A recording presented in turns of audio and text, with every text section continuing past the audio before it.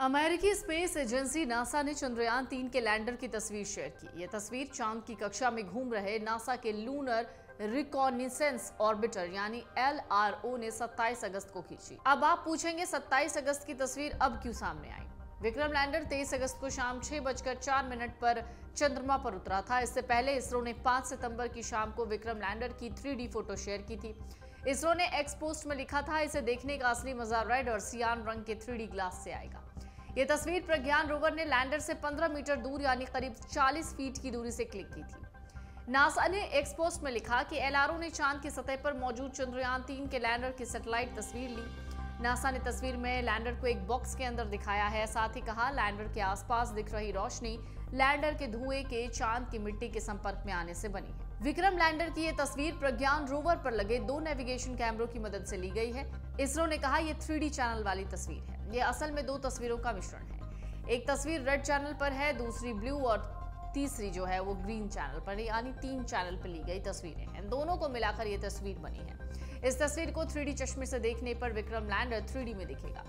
इसरो ने 4 सितंबर को विक्रम लैंडर को स्लीप मोड में डाल दिया। इससे पहले 2 सितंबर को प्रज्ञान रोवर को स्लीप मोड में डाला गया था। वैज्ञानिकों को उम्मीद है कि 22 सितंबर 2023 को फिर से विक्रम लैंडर जाग सकता है। लैंडर ने स्लीप मोड में जाने से पहले पेलोड्स के ज़रिए चाँद पर नई जगहों की जाँच पड़ताल की। उसके बाद ही विक्रम लैंडर को सोने का कमांड दिया गया। फ़िलहाल सारे पेलोड्स बंद हैं, सिर्फ़ रिसीवर ऑन है, ताकि वो बेंगलुरु से कमांड लेकर फिर से काम करना चालू कर सके।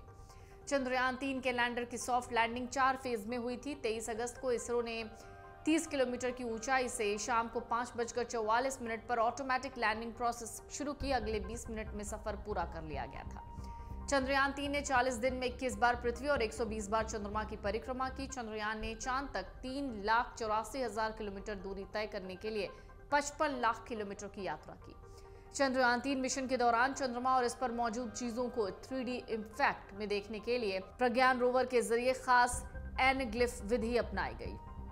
इसरो ने मंगलवार यानी 5 सितंबर को सोशल मीडिया प्लेटफॉर्म एक्स पर एक तस्वीर जारी करते हुए ये जानकारी दी। तस्वीर में चंद्रमा का सतह और विक्रम लैंडर दिखाई दे रहा है। रोवर ने इसरो की इलेक्ट्रो ऑप्टिक सिस्टम प्रयोगशाला की ओर से विकसित नैव कैम नामक तकनीक का उपयोग करके एनग्लिफ तस्वीरों को तैयार किया, जो तस्वीरें इस वक्त सामने आई हैं। इसरो ने बताया, स्टीरियो या मल्टी व्यू छवियों से तीन आयामों में ऑब्जेक्ट या इलाके को एक सरल दृश्य में देखना एनिग्लिफ है।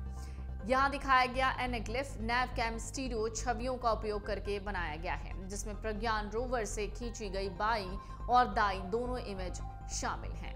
इसरो ने बताया, इस थ्री चैनल इमेज में बाई इमेज लाल चैनल में है, दाहिनी इमेज नीले और हरे चैनल सियान जिसे हम कहते हैं, उसमें रखी गई है। इन दोनों इमेज के बीच परिप्रेक्ष्य, यानी परस्पेक्टिव जो है, वो उसमें अंतर जो है उसकी वजह से स्टीरियो प्रभाव उत्पन्न होता है, जो तीन आयामों का दृश्य प्रभाव देता है। थ्री में देखने के लिए लाल और सियान चश्मे की सलाह दी जाती है। नैव कैम को एल और इसरो की तरफ़ से विकसित किया गया। डेटा प्रोसेसिंग सैक इसरो की ओर से तैयार की जाती है। इससे पहले विक्रम लैंडर ने चंद्र सतह पर सफल होप परीक्षण किया, जिसे इसरो ने फिर से की गई सफल सॉफ्ट लैंडिंग के रूप में बताया था। इसरो ने सोमवार को कहा कि अब चंद्रयान के पेलोड निष्क्रिय हो गए हैं। अमर उजाला। अब आपके टीवी पर भी। अपने स्मार्ट टीवी पर यूट्यूब पर सर्च करें अमर उजाला। चैनल सब्सक्राइब करें और देखें ताज़ा खबरें। वो भी एचडी क्वालिटी में। और हाँ बेल आइकन दबाना ना भूलें, ताकि हर खबर हो आपके घर। अमर उजाला। निष्पक्ष निर्भी निरंतर।